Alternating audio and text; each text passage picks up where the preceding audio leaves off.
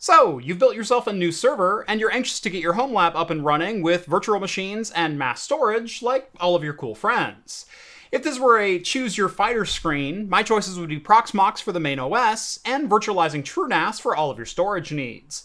Today, we're going to focus on installing Proxmox 8.0, getting your first couple VMs set up and running, and going over some of the need to know features and settings in this latest release. Let's get started.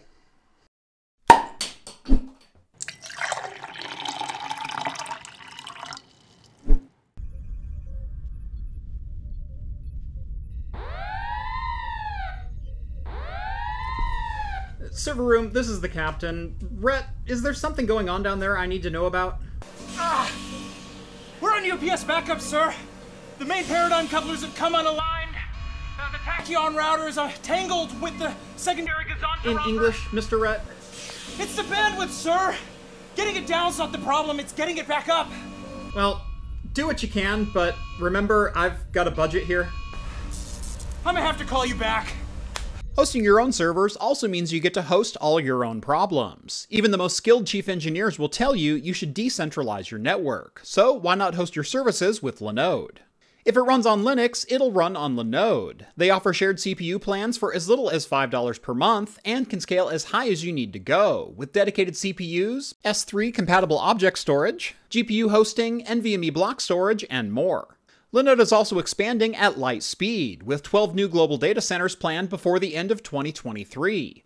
Visit linode.com slash craftcomputing and get a $100 60-day credit just for signing up for a new account. That's linode.com slash craftcomputing, and again thanks to Linode for sponsoring today's video. Welcome back to Craft Computing, everyone. As always, I'm Jeff. In my last video, I went over the hardware selection for this bookshelf-friendly NAS build, and while I did run into a couple difficulties with fitment, I did manage to get everything installed and running. A quick recap for those that didn't see this video, this is an 8-bay server chassis from Oddhide, which I loaded up with a full set of HGST HE6 SATA Enterprise disks. For the PC side of things, we're running an Erying Micro ATX motherboard fitted with an Intel i9 11800H mobile CPU which gives us a deadly combination of low power consumption and high-end speed, all while having 8 cores and 16 threads to take advantage of. We've also got 32 gigabytes of DDR4 3200 memory, along with a pair of Silicon Power A60 1TB NVMe drives. I did have a slight issue getting the ASMedia 1064 SATA controller to fit properly, as two of the SATA ports stick straight out of the top of the card. Luckily, a couple Silverstone low-profile cables allowed the card to fit and the top panel to properly close. So, now it'll look something about like that. See, it even screws down. Look at that. You can fit so much home lab in this bad boy. Now, there were a number of comments in the build video asking why I went with this particular SATA controller rather than going with a tried and true server HBA. The answer comes down to how I wanted to use this card and the slots available on the motherboard. See, we're going to virtualize TrueNAS, which means the VM needs bare metal access to all of the hard drives. The easiest and most effective way to do this is using PCI Express pass-through, giving the VM full access to the ASMedia card. The ASMedia 1064 only requires a single 1x PCI Express slot, whereas a typical server HBA requires an X4 or even an X8. Since there's only one X16 slot on this motherboard, and I'd like to leave it reserved for 10 gigabit networking later on down the line, I was forced to use a 1X card only. Now remember, with servers and PCs and any kind of build, there are literally an infinite number of hardware combinations you can come up with and all of them likely have a use case. This is the combo that I decided on. And even with 8x spinning drives, I don't expect to be able to saturate the 10 gigabit bandwidth of the PCI Express 3.0 X1 lane on the SATA controller. And even if I could, we're still going to be limited by the 10 gigabit network connection once I install the network card. For my use case, this is going to do everything that I want and helps keep cost as low as possible on literally every single component, as this SATA controller was only about $55 and a 10 gig network card would be around $30 for this slot. All in all, for a $1,000 virtualization and storage server, I think the results are going to be pretty fantastic. With the hardware sorted, let's go ahead and do what we came here to do. Install Proxmox. Head on over to Proxmox.com, click on the Downloads tab, and find the latest release of Proxmox Virtual Environment, or Proxmox VE as it's known in the download links. As of filming, that would be version 8.0-2. Once you have the ISO file, you'll either want to create a bootable flash drive with tools like Balena Etcher, or in my case, I'm going to copy it over to my IODD Virtual Disk Manager and Optical Drive emulator that I reviewed last year. There are a million and one ways to create a bootable ISO image, and if you have any suggestions about one that I didn't mention, I'm sure I'm going to hear about it for the first time ever down in the comments below. With your media of choice inserted into the server, it's going to be time to fire up the machine and boot into the Proxmox installer. If you're a Proxmox veteran, the installer really hasn't changed at all since at least version 5, so it's going to be all business as usual for you. But this is a tutorial, so we're going to walk through it all anyway. The first step is to read the entirety of the end user license agreement, which I'm sure all of you will take the time to do. Click the I agree button to continue, assuming you actually agree and aren't just saying that so we can move forward. The second screen is the one that needs your attention, which is where we select the hard drives and RAID setup you're going to install Proxmox onto. By default, the installer will pick a single drive, but as we have two installed in the system, I'm going to want to set up a RAID 1 so we have some redundancy. Next to the Target Hard Disk pull-down menu, click on the Options button. Under File System, you can select which multi-drive setup is right for you. Again, with a two-disk setup, I prefer a RAID 1 mirror. There are two file systems to choose from in this particular setup, whether we use RAID ZFS or Btrfs. My preference is usually to go with ZFS, as it's the system that I know better, and that's what my recommendation is going to be here. So select ZFS RAID 1. This will bring you back to the options screen, where by default, the installer thinks you want to use every disk that's currently installed in your server. While I do appreciate its enthusiasm, again, we're only going to be using our two 1TB NVMe drives. At the bottom of the window, click the button to deselect all drives. Then I'm going to select my two NVMe drives for drive 0 and drive 1. Once you have everything set up the way you want, click on OK to close the options menu, and then select Next in the main installer. The rest of the setup is going to be region selection, setting up a root password, and configuring your network, all of which is going to be completely up to you. Now note, Proxmox will not work with the DHCP lease and needs to be assigned a static IP address. I'll explain the network setup in a little bit more detail later on, but for now, enter an address that will work on your network, and then click install so we can get everything set in stone. Once the installation finishes, we're actually done working directly on the server with a keyboard, mouse, and monitor connected. Everything from this point out will happen through a web browser and Proxmox's web interface. Open up Edge, Netscape, or whatever browser you prefer, and enter HTTPS, the IP address of your server that you configured just a second ago, followed by a colon and 8006. Instead of hosting the web interface on port 80 or 443, Proxmox uses port 8006, and the colon and port number allows your browser to make the proper connection. To log in, the username is root, and the password is whatever you set up during the installation.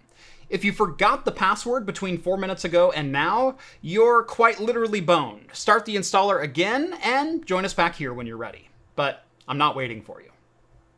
We'll dive into some of the features and settings inside Proxmox that might be of interest to you shortly. But why don't we start with creating your first virtual machine, as that's really what most of you are probably here to watch this video for. The only thing we need that we don't already have to make this happen is an ISO installer for whatever OS you want to run on your VM. To keep things simple, let's create a new VM and install Ubuntu Server. Head on over to ubuntu.com, click on the downloads link, and select Ubuntu Server. For this tutorial, the most recent version is 22.04R3. Once you have the ISO downloaded to your PC, we'll need to upload a copy to Proxmox so it can pass along the ISO to your virtual machine. On the left side of the Proxmox main screen, you'll see a data center icon. This represents all of the Proxmox servers you have managed together, but since we're only running a single Proxmox server and haven't clustered anything together yet, the only thing you'll see under here is your single server. We'll go over multi-server management in a future video. Under your server icon, you'll see three more icons. One for local network, one for local storage, and another for local file systems. Click on the middle icon to access your local storage, which is where we'll store any install ISOs that you want Proxmox to have access to. In the storage window, click on the ISO Images tab and then click on the Upload button. In the upload window that pops up, click on Select File to browse and locate your version of Ubuntu Server ISO on your PC. Once you have it selected, click on Upload to make a copy onto your Proxmox server. If the upload is successful, you'll see a confirmation window appear. Close that and you'll be taken back to the ISO Images tab, which is where you should see all of your Linux ISOs in one convenient location.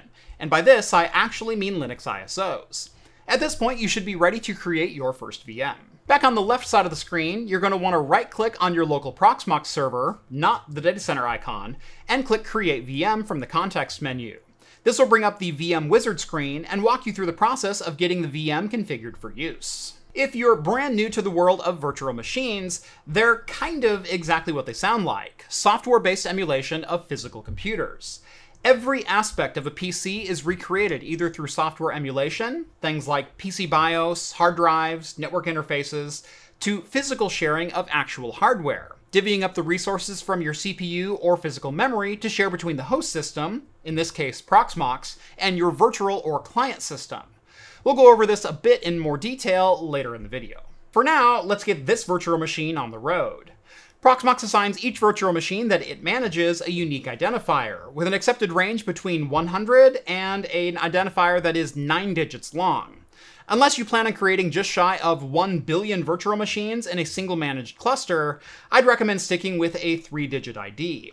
The default is 100, but I hate starting with 0 because I don't think in binary, so I'll give my first VM an ID of 101.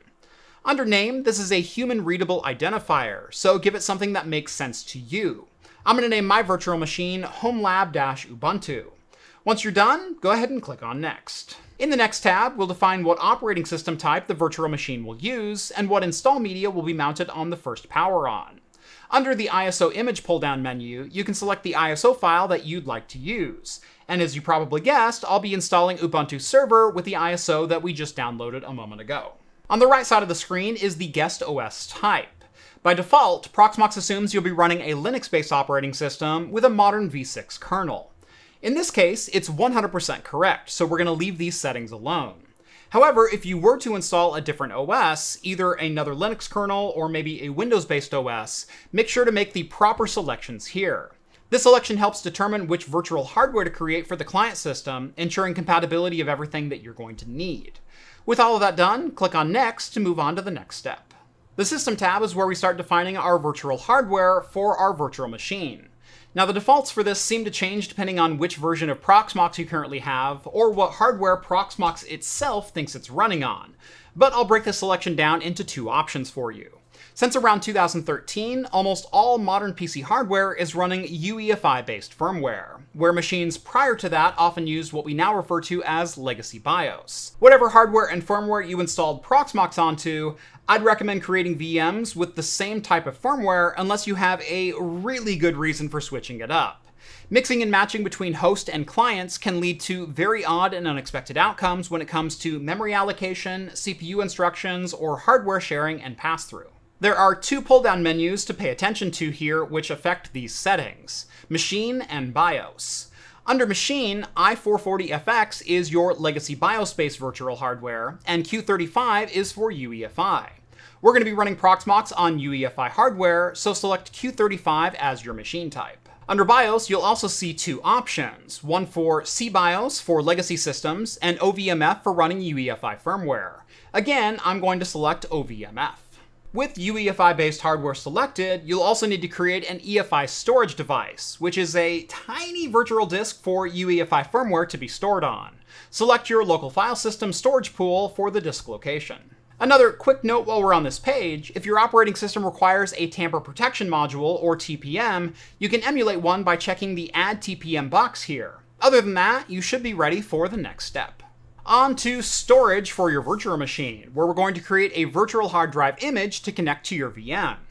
It might sound a little odd, but leave the bus device at its default SCSI selection, as a virtual SCSI drive is actually the fastest of all the virtual interfaces. Under storage, you'll select the location on Proxmox to store this virtual disk. And just like the EFI disk, we're going to select the local file system. Under disk size, I'm going to increase the size from 32 gigabytes to 80 gigabytes. All disks, at least those created on a ZFS file system, are created with thin provisioning, which means even though we're creating an 80 gigabyte disk, it won't actually use space in our storage pool unless the VM writes data to it. Giving it 80 gigabytes allows plenty of room for growth without resizing the virtual disk later on. And as you'll see when the install is done, the virtual disk is only going to take up around 3 gigabytes of space in our storage pool. Moving on to the CPU tab, here the defaults are pitiful, as just a single CPU thread is assigned to our virtual machine. The setting you want to change here is cores, with each number being a thread your virtual machine can use. Now this is where a lot of people have misunderstandings about what virtual machines are and how CPU allocation is performed. Assigning a thread to a virtual machine does not exclude that thread from being used elsewhere on the machine, either by Proxmox for overhead use or by another virtual machine itself. You're also not limited on how many threads you can allocate based on the number of cores and threads in your actual hardware.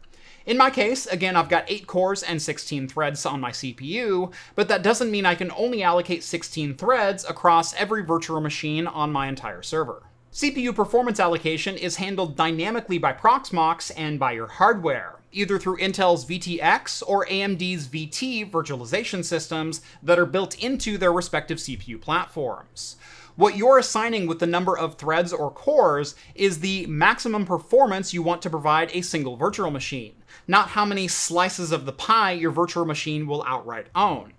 Even if you've allocated more threads than your CPU physically has, both Intel and AMD's virtualization systems are designed to automatically balance loads between both the host and client systems. For a basic virtual machine these days, I recommend a minimum of four threads as a starting point. You can always give a virtual machine more if you feel performance constraints are affecting you, but I guarantee you're not going to want to allocate just a single thread unless you have a very specific reason for doing so. CPU type is another thing we'll get into shortly, and Proxmox 8.0 introduced a new default type called x86-64v2-AES. For right now, just leave this at the default, as we can always come back and change it later after I explain some differences in CPU types, and if you decide that your use case is a good fit. Next up is memory configuration, which again is a big area that a lot of people get wrong through misunderstandings or misinformation in the community. Through Intel VTX or AMD VT, physical memory can be used by your host and client system in a shared pool. The maximum amount of memory your VM can use is what you're defining with this option. And my recommendation is to give each VM at least 4 gigabytes or 4096 megabytes of memory that it can use. Now, right now, this is the only time in this tutorial we're going to click on the advanced checkbox in the wizard, but a quick glance here shows that ballooning device is checked by default. Ballooning means that only RAM that has data written to it by a VM is considered allocated. Just like storage, unless memory is allocated, anything unused by a VM remains available to both the host and to other virtual machines on the server. Just like storage and CPU settings, it is absolutely possible to over-allocate your resources, giving a pool of virtual machines a combined 4 terabytes of potential storage capacity when your physical storage capacity is only 1 terabyte, or giving 8 different VMs a total of 4 CPU threads for a total of 24 when your CPU only has 16 available or giving six individual virtual machines 8 gigabytes of memory each for a total of 48 when you only have 32 gigabytes of memory installed in your server. As long as the actual used storage, memory, or CPU cycles doesn't exceed what your hardware can provide, the system should perform as expected. Now, this is a slippery slope, as some services or operating systems will use every available resource they have access to for things like Windows updates or ZFS pool caching. So don't just give every VM you create more hardware than you can actually use. But assigning resources isn't denying resources elsewhere on your system either. It's a balancing act that you'll need to learn for yourself, based on what services and resources you will actually be using on your server. Getting back to memory, again, I like assigning 4 gigabytes to even simple virtual machines, but with ballooning enabled to keep my allocated memory to a minimum. And with that, we have just one config left in the wizard, and that's your network setup. There are only two things to check for here, and one we haven't covered the background of yet. The bridge is a network path between your virtual machine through Proxmox and out to a physical network adapter on your server. I'll explain this in slightly more detail shortly, but by default, Proxmox creates a bridge called VMBR0, and for this tutorial, that's what you'll want to use for the VM connection as well. The model of network card will have different defaults based on your client system OS. For Windows-based VMs, it will often use the virtual Intel E1000 NIC, which will allow for gigabit speeds on a virtual machine. Windows uses this because the drivers are installed by default on basically every modern version of Windows. So out of the box, your networking adapter will function. The best performance is actually from a device called VirtIO, which is a paravirtualized network device that negotiates 100 gigabit connections between the virtual machine and the Proxmox bridge network device. This means connections from one VM to another on the same hardware will have 100 gigabit links between them, as Proxmox's bridge serves as a virtual switch. The downside to the VirtIO network device is it is a Red Hat developed virtual device, and while most Linux or BSD kernels have drivers built in, Windows operating systems do not. But you can add drivers to a Windows image or install drivers once your virtual machine is up and running. But if you're looking for the maximum possible network performance, this is absolutely the route I recommend going. And it's what I'll be selecting for our Ubuntu virtual machine today. And with that, the last screen is simply a confirmation of all the choices you made in the wizard. If everything looks good, you can click on Finish and finalize the creation of your first virtual machine. The creation process typically takes less than a minute, and once completed, you should see your virtual machine appear, with both the VM ID number and the human readable name that you gave the machine inside of the wizard. Once both those appear, the virtual machine should be ready to start up for the first time. Double click on the virtual machine to bring up a virtual console. This will serve as your monitor, keyboard, and mouse for interacting with the VM. One thing you'll notice is once you click Start Now and power on your VM for the first time, it loads into a typical PC BIOS splash screen. This is because it's actually its own unique PC. It's as if you just spent your time assembling a PC part by part and powered it on for the first time. Only this PC exists only through a combination of hardware sharing and software emulation. Pressing delete or F2 will bring you into this virtual machine's BIOS screen, where you can actually adjust settings just like on real hardware. Every aspect of this virtual machine works as if it were real hardware. And the reason I'm explaining it like this is because this is sometimes the most difficult part of understanding what virtualization actually is. It's virtualizing every last individual component and part of a PC, putting it all together and turning it on as if it were actually real hardware. If your new virtual machine boots into the Ubuntu server installer, congratulations! You've started your very first virtual machine. I'm not going to walk through the install of Ubuntu right now, just know it works exactly like it would on a real PC with real hardware. As I said, I wanted to come back and cover networking because that's one area where people often stumble when it comes to learning virtualization. Not only are we virtualizing PC hardware to create virtual machines on this server, but Proxmox's network system acts as a virtual switch for all the virtual network interfaces on each individual virtual machine. During the Proxmox installer itself, you were asked to create a static IP address for the server to be accessed on. What you were actually doing is creating a virtual network bridge. And here's where things start to get weird between physical network adapters, like the one on the back of this server, and virtual network adapters, which exist only in software. Proxmox creates a network bridge and names it VMBR0. This virtual network adapter is what gets assigned the static IP address. A network bridge is actually a bit self-explanatory. It links two or more network adapters together, whether they be virtual or physical. In this case, we have a virtual network bridge with an IP address of 10.0.0.215 linked to a physical network adapter, which in and of itself has no IP address at all. All it's doing is linking our virtual bridge to a physical cable, so the bridge can communicate with the rest of your network. The cool part about a network bridge is you can link it to multiple physical network devices to create redundant pathways out onto your physical network. Inside Proxmox, the virtual network adapters you create for each virtual machine are also connected to the network bridge, which is how they are granted network access through the server's physical adapter.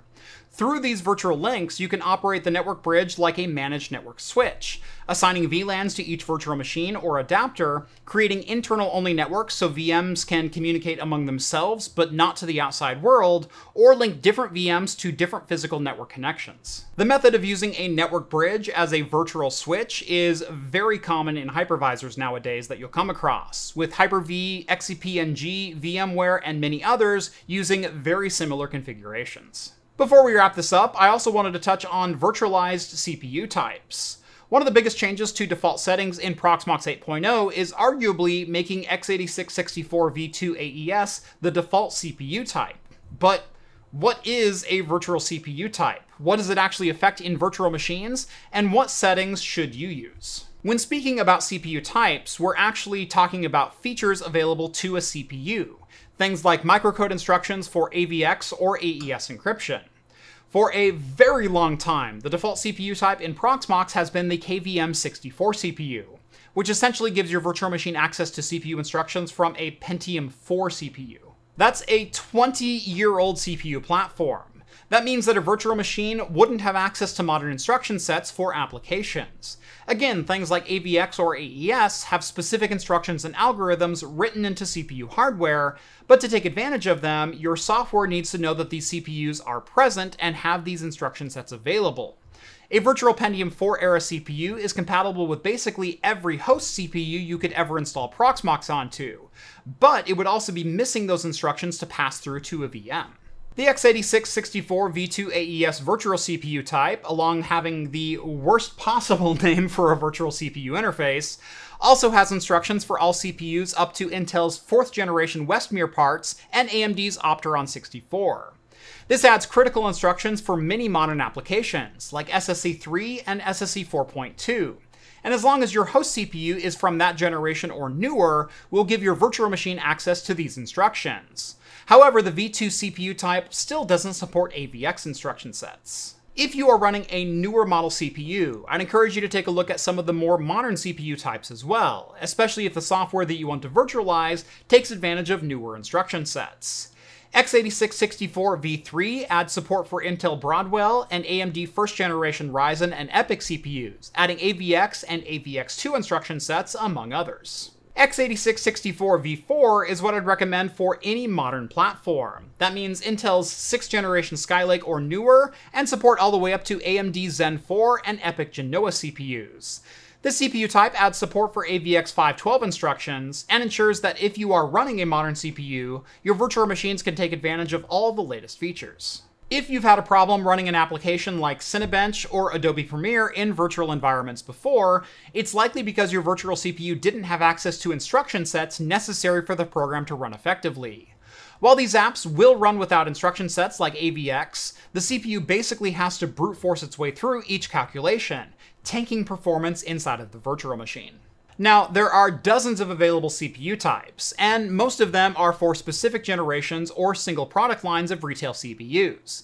It's fine to select a matching architecture to a physical CPU you have installed, but going with a more generic selection will make it easier to manage or migrate virtual machines between individual Proxmox servers later on, if that's something you're eventually going to set up. Virtual machines, especially those running Windows, don't like to have their CPU type changed at random, so selecting a CPU like x86-64v3 allows your VM to think it's running on the same physical CPU, even if you move a VM from an Intel Skylake to an AMD EPYC Rome-based server. Unless you have a specific need to define the exact CPU model, generic CPU selections tend to keep everything happy for your client OS. Hopefully, in this video, you were able to install Proxmox, set up your first virtual machine, and now have a handle on the basics of virtual networking, CPU allocation, and CPU types, and the relationship between the host hardware and your virtual machines. Just like all server topics, virtualization is a subject that is miles deep, and I've got plans over the next couple months to dive as far down as I can go. Using Proxmox, I'm hoping to cover subjects like PCI Express pass-through, private networking for isolated home lab or developer environments, as well as looking at specific services that you can run in a virtualized environment. If you have anything specifically you'd like to see me cover, please drop me a line down in the comment section below. I'm always looking for new ideas or subjects to cover in videos like this. One thing I've always subscribed to is the idea that knowledge should be free, which is why I publish these tutorials on YouTube at no charge. If you liked this video, learned something, or want to help support making videos like this, there are a number of different ways you can do that. First off, head on over to craftcomputing.store for some quality merch that is designed and made right here in-house. Yes, I personally etch every single one of these pint glasses and coasters myself out in my garage. I get a couple of bucks to help support the channel, and you get some quality glassware. Everyone wins. Second, I do have a Discord server, but it's an exclusive perk of joining the Patreon. It gives you the opportunity to chat with myself, as well as the nearly 800 people who have joined the community. We talk about the newest beers we've tried, share knowledge around all aspects of PCs and home labbing, there are community led classes on topics like soldering, and it's an all around awesome place just to hang out. Follow me on the social medias at Craft Computing. Make sure to hit that thumbs up button and subscribe to Craft Computing if you haven't done so already. And as always, I will see you in the next video. Cheers, everyone.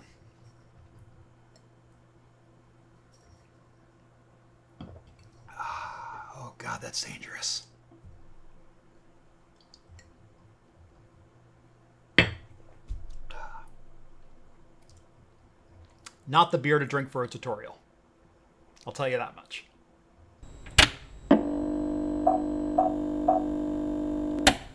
I don't know if this is the right beer to open for a tutorial, but what the heck. Uh, in honor of the 666th video posted to my channel, today we are opening Adroit Theory's All That I Have Learned, which is a fantastic name, but it's not the name alone that is getting the nod today. It is the 16.66 ABV on the back of it. there could not be a more appropriate beer right now. And also, one that I'm more terrified of. Adroit Theory's, All That I Have Learned, Russian Imperial Stout aged in maple whiskey barrels. This is Ghost 987 for those in the know, and bottle number 55 of 2000. nice. This smells like a very well aged bottle of Founders Canadian Breakfast Stout, CBS, which I don't think they make anymore. Uh, boy, that maple and whiskey. It is so, so right there.